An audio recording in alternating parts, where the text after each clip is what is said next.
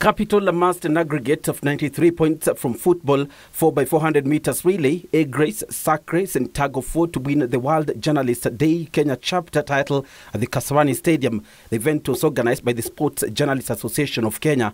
The Kenya Commercial Bank, playing as a guest team, was second with 90 points, while Royal Media Services completed the top three with 89 points, as Media Max settled for fourth position with 76 points. In football, Capital FM beat Royal Media Services 2 0 thanks to goals from uh, Jeff Oko and Ahmedina Atrash. Sports commentator Tony Kwalanda anchored Media Max with the 4 by 400 meters victory ahead of second place team of freelance journalists or bloggers as Royal Media Services finished third. The Kenya Commercial Bank won the sack race ahead of Capital FM as Homeboys finished third.